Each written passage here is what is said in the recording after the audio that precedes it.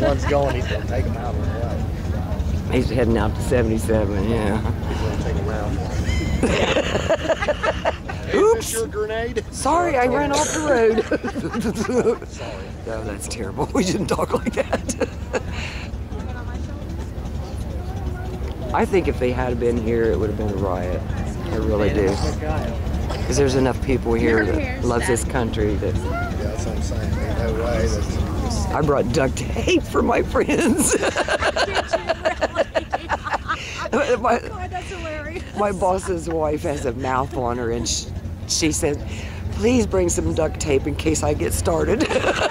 so I brought duct tape. But that's a good idea. Matthew, you okay? In case I get the wrong. Let me take a piece out. Can you take this out? Well, they outspoken West Virginia. You have duct tape all over. What is this? So we were at a political rally, and she was yelling stuff and got in trouble. I'm waiting for this, uh, My son says he's gonna